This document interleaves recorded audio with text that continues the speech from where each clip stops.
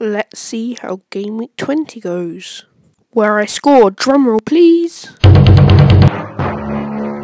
36 points. On to the game week 20 preview. Nice little trend. Right, let's start off with Salah. You're grounded, Salah, and I'm never going to get you in my team again. No, I'm joking. But, like, come on, Salah, you got me zero points as a captain. Woohoo! Round of applause.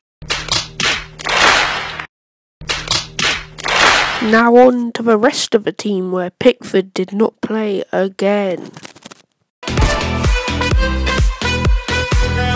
Well, anyway, let's go on to the rest of the team who actually did well. I mean, James came off with a hamstring injury to get me one point. Guehi managed to keep a clean sheet from Norwich, so that was pretty good. And Rudiger, we don't talk about that. Cancelo did well with four points. My midfield scored me the total of two points.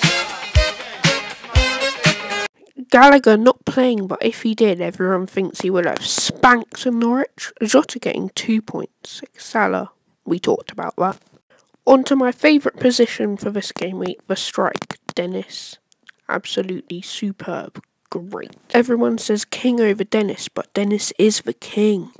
Armstrong getting one point and Ronaldo getting a goal and an assist. Overall, I scored 36 points.